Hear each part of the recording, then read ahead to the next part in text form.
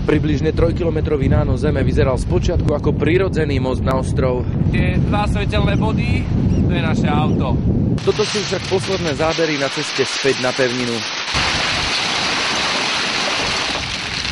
Vyzerá ten zádok trocha horšie na tom. Sa tu pokusí stočiť, kolesami dole a keď nie, tak to zodvihneme s dviákom. Situáciu komplikovalo aj to, že sme sa nemali o čo zachytiť a vytiahnuť navijákom. Naším najväčším nepriateľom sa však stal oceán a jeho príliv. Uvidíme, ako dlho nám to bude trvať, pretože e, tá hladina mora ide hore. Približne po dvoch hodinách sa nám podarilo auto vyslobodiť.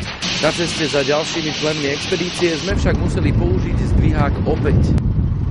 A myslím, že to bude presne to, kde sme zapadli, že tam sme osekli. Po výmene kolesa nás čakala ešte niekoľkohodinová cesta späť do vnútrozemia. Z Islandu Ľubo Schwarzbacher, Slovenská televízia.